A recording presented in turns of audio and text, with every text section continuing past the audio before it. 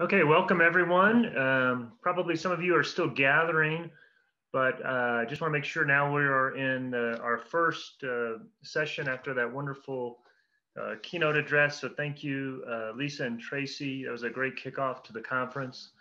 Uh, my name is Brennan Riley.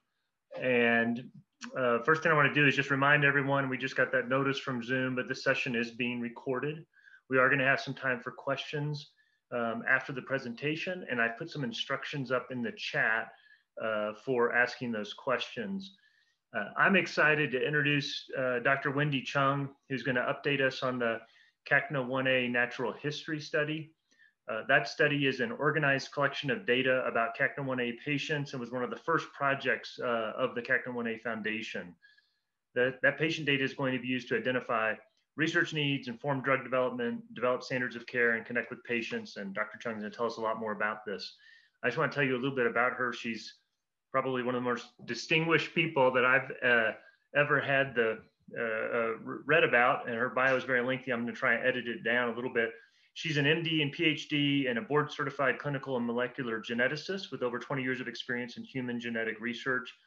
Uh, she's the director of clinical research at the Simons Foundation and leads the Simons Searchlight Study for Neurogenetic Conditions. She also leads the Precision Medicine Resource and the Irving Institute at Columbia University. She's widely published, was the recipient of the American Academy of Pediatrics Young Investigator Award, the Medical Achievement Award, the New York Academy Medal for Distinguished Contributions to Biomedical Science, the Rare Impact Award from the National Organization of Rare Disorders, and the Presidential Award for Outstanding Teaching from Columbia University. So Dr. Chung, I am going to turn it over to you and let you share your screen. Thanks so much, Brennan. Thanks for having me here today. Um, I hope this is going to be helpful and the beginning of a journey that we'll take together. Um, appreciate everything that Lisa and Tracy had to say, and I'll try and build on some of um, some of the messages that they gave, but tailor them now for the CACNA 1A community. Uh, I also want to say at the outset that uh, I appreciate everything that Scott Robinson and Amy Lipman have done. Um, this has really been a team effort from the Columbia team. So first of all, thank you for all the families who have done the study. I know it's not easy to do and it takes a lot of time and concentration. Um, for those of you who haven't done this, I'll come back to it at the end, but if you go to the CACNA 1A Foundation, right at the top of the website, there's a tab called Research. And if you go under there, um, there's the Natural History Study at Columbia, and there's a videotape that I've done that actually walks you through how to do this. Then you can go right in there if you uh, haven't participated and want to participate, or or if you've gotten stuck and want to come back to what you do. We've set this up so it's all online so you can do it and you can do it in little pieces so you can come back when you've got time after you've got the kids in bed or on the weekend or, or some other time that's convenient. Um, and one of the things we do that I'll show you is that we verify everyone that they're in the right club, uh, that they really do have a CACNA 1A genetic variant.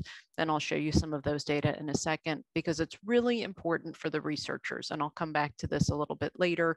But within our community, um, there are a lot of differences within the gene, and there are probably differences in the way this particular calcium channel functions, depending on what the particular variant is. So we, we're really, really careful to get this right. And we do this by looking at your genetic test report and making sure that, like I said, we annotate this correctly for the researchers. All of these data are freely available to the research community after we have de-identified it. So no one knows who you are. Um, when you sign up for this, uh, the researchers are able to use the information without knowing who you are. And we try and be what I call a multiplier. So what I mean by that is that you can sign up to do the study. And after we de-identify it, researchers around the world can all use the same information. And you don't have to keep answering those same questions over and over again. We can distribute it to potentially hundreds of researchers and the reason we do it in this way is that there are a lot of really smart people. Tracy's one of them, uh, but a lot of really smart people working on channels in particular and trying to work on treatments. And we want to, this is kind of like, I think of it as flowers for honeybees. We want to make a beautiful um, sort of bouquet of flowers so that they'll come here and start working on CACNA A. We want to make it easy for them to partner with us in terms of moving things forward. Um, as we're doing this, I also uh, want to make it clear that this is not a one and done study. And so what I mean by natural history is that we're watching what is changing over time, both as the children are growing up, uh, as potentially they're developing and learning more, as they're hopefully getting on good medications.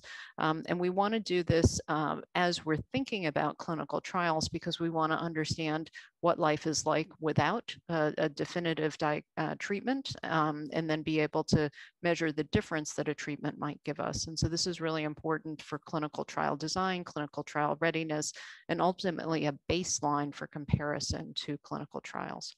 So let me start diving into the data. Um, I apologize that this is a bit of gobbledygook. Um, and if you don't get all of this, uh, if you haven't, uh, like Tracy, gotten your PhD, and if you're not yet really truly Dr. Mom, Dr. Dad, I'll try and put this in language that's more accessible. Um, but there are a couple important things to see. So this is all the genetic variants that we see within the gene. I'm going to show it in a couple different ways. Um, and the researchers may find some of the very specific details important. But one of the things, one of the big messages to the community is that I hope you can see my, my mouse here. In the second column for both of these, I've put in how many people um, have the same genetic variant if it's more than one. So you'll see that two people have this particular genetic variant, four have this, five have this. But the important thing is that for most of these, it's only one person. There's not a number in those columns because it's one unique genetic variant. If you looked at your test report and you compared them to this and you see that you're one of those individuals where you're the only person that we know of in the registry with that particular variant i'm not saying it's that way in terms of there could be someone else out there uh, somewhere in the world who isn't part of the registry there could be someone out there who doesn't even know they have cacna1a yet because they haven't gotten genetic testing but importantly for the researchers and you're going to hear from the researchers more through this meeting importantly for the researchers you have to represent yourself especially if you have one of these unique genetic variants. And as I'll be talking about, and as the researchers will be talking about, especially for these what we call missense variants. So these things where we have, this is showing you the street address of where the change is. So in this example, it's 279 instead of having an arginine at that position, there's a cysteine. So there's a very, very subtle change in the protein. Um, and it's one of the two copies of the protein that has that change. For that change, it's very subtle. And the way that calcium channel works may be different for this one, then for this one, then for this one. In other words, each different amino acid difference may have subtle differences in terms of how that calcium channel works. And you've got to be represented within that research because there may be different, whether they're drugs or medicines that are used, there may be different ones for different variants. And so Tracy was talking about precision medicine. This is one of those conditions where there, I do think there's going to be precision medicine in the sense that it may have to be tailored to what the individual variation is in the gene. So the, the message that I want to give is that in terms of being able to be represented both in the natural history study and as you're going to be hearing about in terms of making cell lines for researchers to work on, really important that we have good representation of the different genetic variants we see in the gene. Okay, so let me go on uh, to show this in a couple different ways. So this is what I call a lollipop because these look like little lollipop sticks here showing how many individuals have the same genetic variation. The height of the stick, the higher the lollipop, the more individuals. The pop itself at the end here by size, again, proportionate to how many individuals have those genetic variants. And these are color coded for the researchers by different types. So um, not surprisingly, missense variants clustering in particular regions, um, and some of the uh, ones where we think we just don't produce one of the two copies of the protein, so-called frame shift or nonsense variants scattered um, both at the beginning and the end of the protein. This is what we have in the registry um, shown here. And uh, for the families, I don't want you to get too hung up on this, but I did put a couple slides in for the researchers. We do have in the community some variants of uncertain significance. Not surprisingly, some of those variants of uncertain significance are in domains as I'm, or in regions where that are not probably highly conserved portions of the transmembrane domain of the channel. So again, just be careful as you're looking at this. I'm not saying these are all pathogenic. And in the boxes here are interesting interesting variants that are also inherited variants, some of which are pathogenic, some of which are uncertain. Um, again, I'm saying this mostly for the researchers within ClinVar. So not just the registry, but within ClinVar, which is a freely available, publicly accessible, open access uh, database of variants, uh, largely from clinical laboratories. Um, I've tried to do some homework for you to show you some of the other variants, not all of which are in the registry, but again, to show you where they're mapping, mostly in the transmembrane domain. And finally, this is the last one I promise for the researchers' families, and then I'll go into what's more interesting probably for you all. Um, I've mapped these out then in terms of what the channel looks like. So you can see again, location-wise, where most of these are. And again, these slides will be available, or if you're watching and taking a photo, that's fine. Um, but this is in terms of the distribution where we're seeing a lot of these variants. And for the families, when we think about drugs that might work for these, again, there might be, th these channels are actually holes or pores uh, within the cell that allow calcium to go in and out of the cell. And in some cases, we want to actually close that up. In some cases, we want to open it up. And in some cases, we want to change sort of the kinetics or how quickly things open and close. And to look, it's a bit complicated and a bit tricky in terms of how we do that with medicines. But as Tracy was talking about, whether it's things like verapamil or other calcium channel blockers, um, we do want to make sure that we get it just right for your particular family member. Okay. Um, Henry Colecraft, this was something that uh, Dr. Colecraft wanted me to share with you. This is what I mean by uh, what I said. So uh, these are particular genetic variants within the channel. And uh, in this column here, LOF means loss of function and GOF means gain of function. This has to do with whether the channel is open or closed and in portion exactly the kinetics or how it's opening and closing. And the point that he and I wanted to make is that if you see all of these different genetic variations, each of them have a, or not uh, each has a different, but many of them have different properties, either in terms of gain or loss of function. And in some cases, I think Lisa mentioned this, actually some even with mixed function, that is a little bit of both. And so again, nuanced in terms of as we think about therapies, but we wanna make sure everyone's represented. No one should be left behind in this. Okay, let me get to the information that's more of the um, sort of news hopefully you can use. And I'll say that this is evolving as we're thinking about this, but this is an up-to-date uh, summary of the registry data. A couple of things that I'll point out that I think are interesting. Um, number one is that we see a distribution of individuals uh, through young adulthood. Uh, I will point out that we don't have anyone yet over the age of 30 represented in the registry. That's not to say that they aren't out there, um, but it is to say that in terms of who's getting tested, uh, what you'll see is a skew towards young individuals, young children, in fact. Then this is largely just reflective of who's getting genetic testing, largely for early on or for their initial onset of epilepsy. I certainly think there are many others out there, even some with just hemiplegic migraines uh, or some who've had seizures, um, but haven't yet had genetic testing. And hopefully over time, they'll get diagnosed and be able to come into this because they actually help us understand long term what those outcomes are. Interestingly, and I'm not sure whether this is real or whether this is just a, a small numbers, we do have more females than males within the registry currently. Um, exactly what that's reflective, I'm not sure yet, but it, it is interesting to me to start to see that because I would have predicted this would be 50-50 and, and maybe it will be over time once we get the numbers in. Um, as we're seeing this, uh, Lisa was talking about this, but I, I want to, it's not just your imagination in terms of the things I think you've been seeing. There's quite a range of neurological symptoms that we see, see associated with CACNA1A. So in addition to the seizures, in addition to headaches and uh, migraine headaches, which I'll be talking about, we also see problems with movement. Um, some of these, you may not say it in the same words, but uh, your neurologist likely has used words in terms of ataxia, difficulty with coordinating movements, uh, tremors or shakiness or dystonic movements, sort of um, uh, movements that look like they're very awkward and kind of tight in terms of how people are moving sometimes.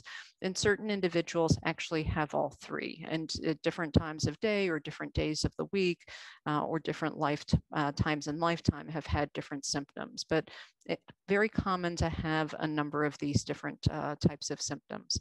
Some other things that we see are migraine headaches. Um, in some cases, I think our, our little ones may not even be able to tell us about the migraine headache. So I suspect that this is actually even higher than what we're reporting here.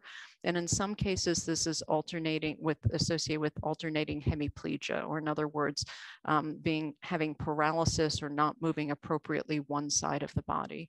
Um, with this, I think this is all related to the electrical things that are going on in the head, in the brain, um, and they're just manifesting in slightly different ways depending on exactly what part of the brain is affected uh, and exactly how severely it's affected in terms of those calcium channels. Of course, seizures are um, one of the big bugaboos and um, very commonly seen within our community. Uh, over 50% of individuals with seizures. And as we're talking about numbers of seizures, um, individuals usually are having a, a, quite a number of seizures. So this isn't just like uh, a febrile seizure when someone got a fever. It's not like just once a year. This is a significant burden of seizures. When we think about the seizure type, so what does it look like to you? Um, it is oftentimes the case that a single individual will have more than one seizure type. This could be that it um, also changes over the life course, but many individuals have seizures that you can't miss, so to speak. So jerking movements with um, sort of whole body jerking that you'll see or generalized or tonic-clonic seizures.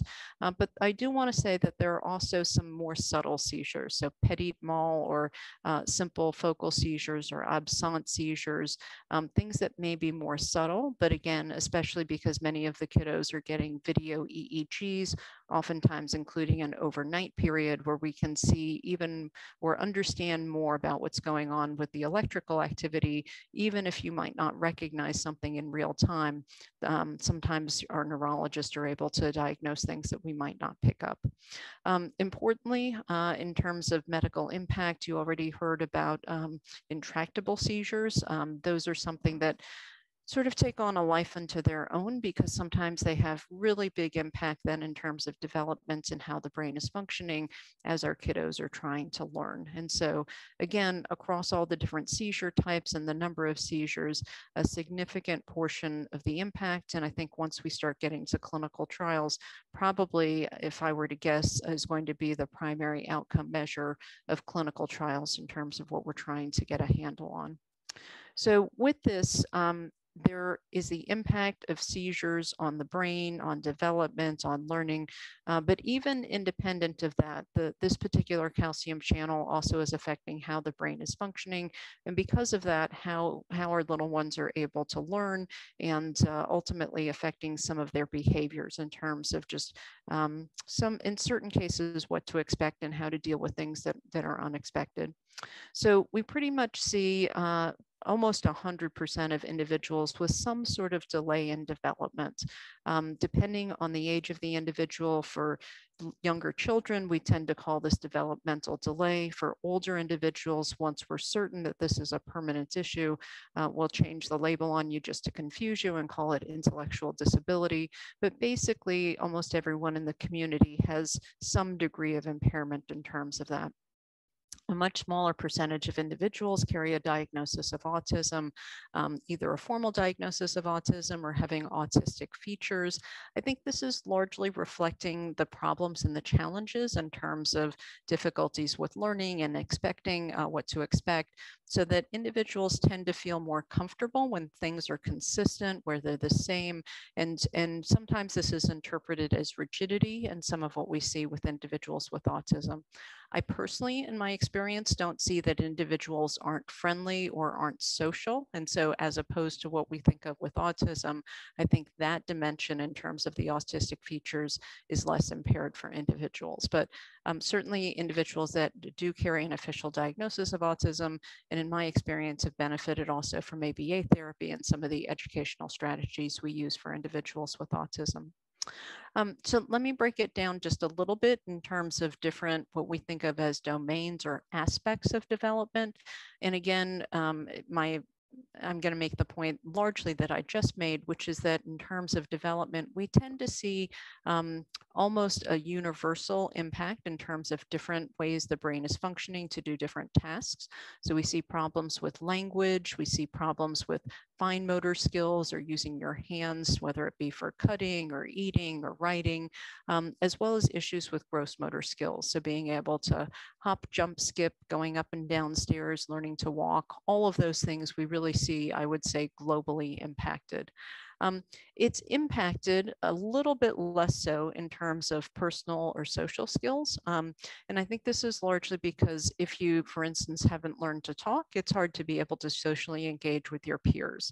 Um, if you're having trouble moving, walking, jumping, throwing a ball, catching a ball, uh, all of those things you can imagine, it's more difficult in terms of socially interacting with your peers. On the other hand, I do find personally um, that young people do like engaging with others. They do tend to make, again, if they're not having too much trouble with seizures um, and they're capable, they do tend to make eye contact, to engage with others, to be friendly, um, very loving individuals. So I, I don't think it's not wanting or, or, not a desire for social interaction, but I think it's largely um, challenges in terms of just capacity for those interactions.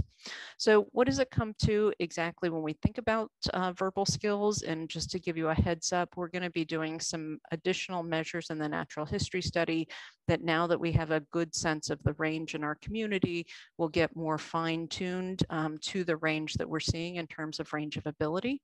We do see that over half of the individuals in our community right now are verbal, so they are able to speak. On the other hand, we do have a, a subset of individuals who are not yet speaking. Um, I will say that even though they might not be speaking in terms of words coming out of their mouth, we do see better comprehension. We do see better receptive language is what we call it, but hearing and understanding and ability to follow instructions. Um, but in terms of getting the words out of the mouth, that may be either delayed or absent. Not to say that there aren't other methods of communication or expressive language, other ways of either signing or using picture boards or communication devices. And again, if this is something where your child is having uh, some challenges in terms of advancing on that, I urge you to be creative with your special educators, your speech language pathologists to think about other effective ways of communication. Um, so in terms of milestones, again, remember we've got a lot of little ones. Um, so if you happen to be a family with a young child, I wanted to help you think about um, some expectations in terms of when things might happen. So I'm showing you here the average age of achieving a milestone. That's what this big uh, sort of thick line here means. And then this is really showing you the range though in terms of the youngest and the oldest child achieving that milestone. And so that you'll see there's quite a range um, within the community. Everyone's not the same. Again, as I said, everyone is a little bit different and everyone needs to be represented. When we think about those gross motor skills in terms of rolling over, um, for many, some of you who have had other children, your other child might have rolled over at say four months of age, um, but nine months of age is what we're seeing with our CACNA 1A folks, uh, being able to sit without support or sit independently independently, on average about a year of age, and then walking, um, taking steps and being independent and walking about two years of age. Um, so the majority of individuals are able to ambulate on their own, but again, for some of those, it's, it's taking a bit of time, maybe two, three, four years of age before that happens. Then there are some who are not yet ambulatory. Um, when it comes to verbal or first words, again, for first words, it's about on age, on average a year, but articulation, being able to be understandable in speech and speaking fluently in full sentences, taking significantly longer than that. So Tracy was mentioning uh, some things about epilepsy, and what I would say is the epilepsy does confuse things, I think, in terms of what we're seeing with development. So if seizures are not under good control, uh, it is difficult uh, for the children to advance in terms of their learning and development.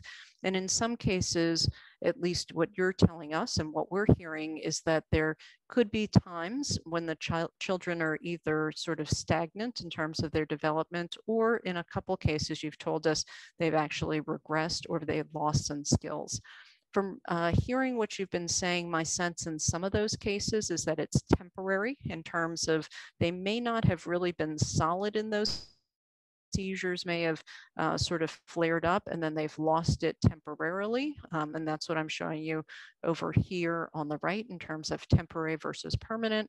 But in some cases, especially for those who've had significant and prolonged problems with their seizures, what we've been seeing is that may be more permanent. And so again, sort of a primary thing, if we can do it, is to get the seizures under control. Obviously, I'm not saying you and your neurologist aren't working on this, but I do think there is a cause and effect or a correlation, at least in terms of development and how well those seizures are controlled. Um, with this, in terms of thinking about, you know, what's going on, as I said, the good thing is many people are not reporting any regression in their skills. That is, things just keep moving forward more slowly, but steadily moving forward. For those who have had problems, so of these 10 individuals who did have some regression, like I said, the good news again is the majority of those individuals who is temporary not permanent. But on the other hand, there were some individuals where, again, this was a, a permanent problem. Um, in terms of what started this off, you know, what were the problems? Um, at least families, we can't say 100%, but families were reporting, at least from their perception of things, that it could have been seizures, as I said before, head trauma um, as being able to sort of start this off or some other illness, or perhaps related to, or at least correlated with hemiplegic migraines, whether or not this is cause and effect or happening coincidentally, I'm not sure, but it does seem like those are both going on at the same time at least. Um, the good news to me is that in terms of other sort of behavioral manifestations. We're not seeing uh, what I have, in, in my opinion, is a huge number of these. So compared to other either epilepsy conditions or other neurogenetic conditions, we do see some. So I'm not, I'm not saying nothing's here, but we're not seeing nearly as high a burden as I see with other conditions. Um, we do see uh, along the x-axis here is the percentage of individuals with these manifestations. On the y-axis are the different types of manifestations. Um, and each of them, it's less than, almost less than 10% for any one thing. Anxiety, we do see a little bit of anxiety. My sense is this is mostly related to new situations and the more that we can do to prepare individuals, um, setting the stage, social stories, being able to even have videos or pictures and sort of play through it before any new events um, helps in this, but new things are um, to, do tend to make folks more anxious. Um, depression, problems with attention, limited attention span, attention deficit disorder. Uh, again, we see in about 10%, but this is actually actually, for me, a relatively good number in terms of what we oftentimes see with other conditions. Um, and again, a little bit in terms of obsessions or um, doing things over and over, but, but not too high. Um, I think everyone knows this, but just to make sure uh, in terms of, I, I, think I heard Tracy say or Lisa say clinical care guidelines. This is one of the goals to come out of the natural history study as well is to have a better understanding, to make recommendations, to come to consensus, to help you help advocate with your doctors in terms of what can be helpful. Um, I do wanna make sure everyone's seeing a pediatric ophthalmologist or an ophthalmologist for individuals with special needs. Um, the eyes are the windows into the brain and clear vision helps helps to, for safety issues as well as learning issues. And you can see that a majority of individuals do have a range of vision problems. Um, most of these are related to things uh, that are related to the eye and the brain. So there's uh, connectedness in terms of doing that, but a pediatric ophthalmologist can help you with that. Um, finally, just a couple other things. Uh, many folks have problems in terms of muscle tone, largely being loose or hypotonia, both in the trunk as well as in the limbs. Um, this is what physical therapy can often help with, and that rep repetition will help with muscle memory. We do interestingly often see high pain tolerance. This is not uncommon with these types of neurogenetic conditions, um, but unfortunately also a lot of other associated things with um, loss of consciousness or head injury, coma, cerebral edema, really serious problems we've seen associated with hospitalizations in some cases. And I know those have been really scary events for many of you in terms of the, as families. And so these are the types of things we're trying to figure out, especially how we can prevent.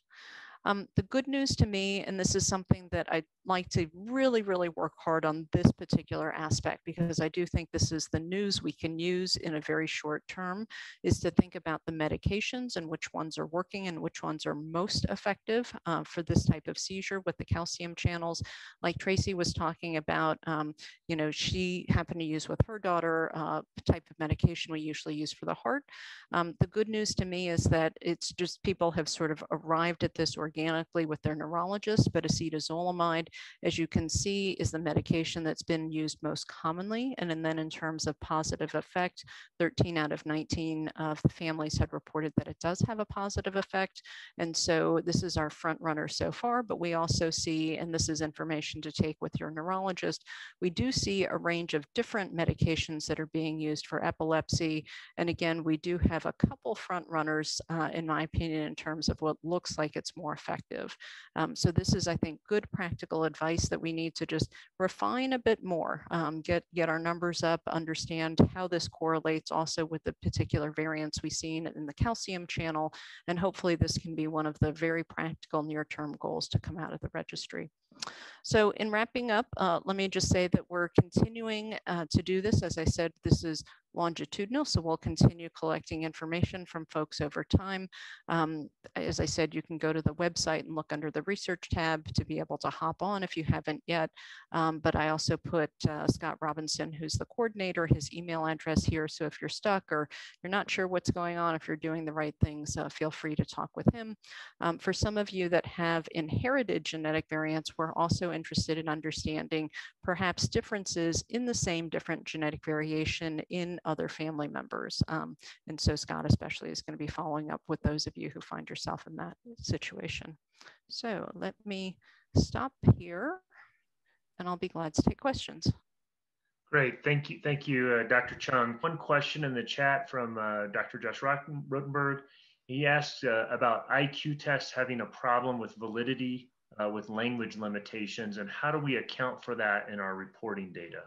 Right. So um, there are uh, anyway, number one is I didn't report any IQ data, so we haven't directly assessed IQ in any of our folks. Um, those are, they're very good test, validated tests, and at some point, I think it's likely we'll bring folks into centers to be able to do that. Um, within the IQ scores, there's something called a full scale, a verbal, and a nonverbal, and so many times if there are issues with um, speech and language, then I'll look specifically at the nonverbal IQ to get a sense of how folks are doing, and if I see a split split between the verbal and the nonverbal IQ, that gives me a sense that a large part of this is related to that language specific issue. So I hope, um, I hope Josh, that answers your question. Okay. Um, and one question that, uh, and again, if you have a question, if you could put it in the, in the chat and then I'll read it to Dr. Chung. But in the meantime, um, in case someone's worried about the confidentiality of the information that they're providing um, through the patient survey, can you just tell us a little bit about? I'm sure that there are significant protections taken with respect to that data. Can you just talk a little bit about that just to make people feel comfortable that they can participate in the study and it won't uh, uh, sure, it won't result in that sort of lack of confidentiality or, or, or impermissible use or disclosure of their health information? Sure. Um, so number one is that um, we, we're not selling your data. So number one, we don't make any money off of this. We actually volunteer to do all of this. So, um, but we're not making any profit. We're not selling any of your data. When you sign up for this, we de-identify it so that although we know who you are, so we can get back in touch with you if there's a problem, we're actually the only ones that do know who you are. So even at the CACNA Foundation, they don't know who's in this. The literally the only people that are are at Columbia. This is all behind behind a secure firewall at Columbia. So in the same way that we protect our electronic medical records for our patients behind that same secure firewall um, so that there's nothing that leaks out. Um, it is, you know, there aren't an infinite number of people in the world with CACNA 1A. So, um, you know, you are, if you're represented and you have a gen unique genetic variation, if someone else knew your genetic variation, they could see you're in the study, but they can't necessarily see exactly your information. Um, but in my experience, and, and certainly if someone has specific concerns, they can back channel email me um, in terms of any of this.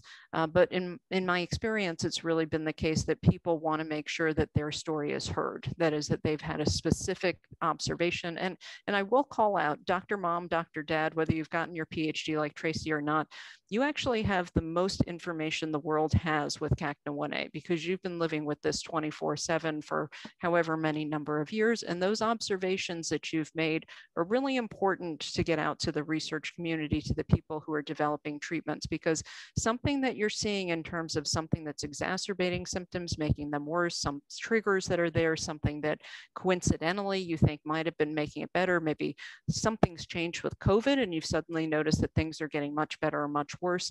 Those observations within the surveys, feel free to actually write those in in free text. Again, we won't attribute them to you specifically. We won't out you in terms of anything that you might have done that might seem a little wonky. Um, but those observations could be the key for both your family and even for the community in terms of understanding something that might uh, near term be very helpful to many people. So anyway, and if, and if it, you know, if there's something that you'd like to call us about, like I said, if you reach out to Scott Robinson, you can either talk with Scott, you can talk with me. If there's something that's, um, you know, you don't want to have in the database per se, you'd rather just talk with someone privately. Right. And we do have some, we have some great questions in the chat about, um, you know, specific uses of acetazolamide. Um, I, I, usually call it Diamox because I'm not good with that longer word. Yeah. Um, I'm not sure this if we'll, if we'll take those sort of in this venue, Dr. Chung, but um, I'll kind of keep this to the natural history study itself. There's a question about the natural history study, and it says, would you like participants to take the Vineland 3? Yep. So the Vineland 3 is a um, Vineland Adaptive Behavioral Scale. It's a sense of developmentally how folks are doing with things that you see every, in your everyday life. Um, so yes, the Vineland is going to be part of this. I think we're also, I'll just give you a preview, I think likely going to be adding also, whether it's the ORCA or some other measures that may be helpful for certain folks, so where the Vineland is probably not the most useful uh, measure to use. We're, we're trying to match this so that we get um, sort of things that are good at measuring the level of ability that that person's at. In, a, in this community, as you've seen, there's such a wide distribution by age and other things um, that we may need to have uh, some fine tuning for certain people at different ages and stages. How do we get the members of our community to understand um, uh, the importance of this survey and how can we increase participation with the natural history study? Yep. So uh, do we are happy to take suggestions. I know, like I said, that it's time intensive, um, but we are trying to make this as simple as possible. I will say that we've used measures that are what the uh, scientific and the FDA consider to be reliable measures that they would use as outcome measures. And even though it takes a little bit longer and you may find some of the questions annoying, trust me, I didn't make these up, um, but they're accepted sort of by the industry, if you will. And it's really important for us to use things things that the FDA is going to be willing to use in terms of other clinical trials. Um, one of, let me just give you an example that one of the ways that I hope we'll be able to use the natural history data for, or if we don't have good natural history data within clinical trials, our usual way of doing this would be to randomize people. That is to say, eeny, meeny, miny, mo, you get a sugar pill, you actually get the medicine. If we have really good natural history data so that we know what this condition is like, it's possible that we won't have to randomize people or we might not have to randomize as many people. Um, and so this is just hypothetical at this point, but it is important for us to know, like I said, what this is normally like, you know, without an intervention like a new medication, as well as being able to fine tune what we might use for um, ways of seeing whether a medication is having an effect, knowing what our outcome measures are, what instruments to use and make sure they're appropriate for our community. So it's it basically it's time. If we don't do it now, if we don't get enough now, we have to wait longer until we get enough. And we'd like to be at the starting line ready to go so that whoever's got the best idea for a new medication to treat, a new genetic therapy to treat, whatever it ends up being, we want to make sure we're ready to go and uh, not lose any time with that. So Right, right. And so to summarize it, what I what I think you hear you saying, and tell me if this is is correct, is that the more people we have participate in the study, the more attractive we are to other researchers in looking at this um, at these conditions, as well as to potential drug developers. Right. The the more people are in the study, the the better prepared we are when those researchers and drug companies come to to to to to come up with treatments for CACNA1A. That's absolutely right, Brennan. I'll just say it one other way that within the rare disease space, there are 7,000 rare genetic diseases. And we want to make it so attractive that if a company decides that they want to work on something, they decide to work on us. We, we sort of hand it to them on a silver platter and partner with them and show them that we're ready to be able to go in terms of those collaborations. So if you got 7,000, we want to be, you know, in the top 10, ideally, you know, in terms of opportunities to partner. Great, great. And uh, and one last question, and then we'll and then we'll let it go, and so that everybody can join the other presentation.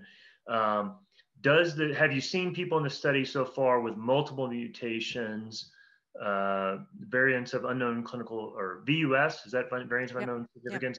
And then large deletions. Yeah. So the answer is right now we're taking in definitely individuals with variants of uncertain significance because with time and more evidence, many of those individuals will be reclassified as being pathogenic or likely pathogenic. We also have individuals with deletions and other types of loss of function variants. So uh, at this point, absolutely. And we're also keeping track if, um, as Tracy was talking about with her daughter, if anyone has more than one variant to be able to understand the biology and if there might might be two things contributing. So we're trying to, that way we can tease all of these apart at the back end. Okay. Thank you very much, Dr. Chung. Thank you for this presentation. Thank you for the work that you're doing with this study.